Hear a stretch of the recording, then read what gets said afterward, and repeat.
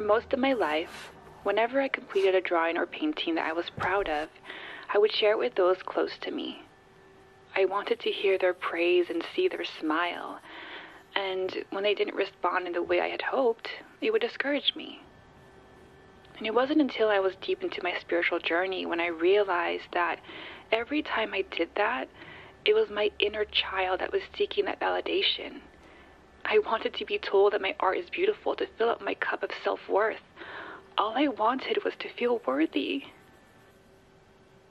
The only person who can truly give my inner child the praise, validation, and comfort is me.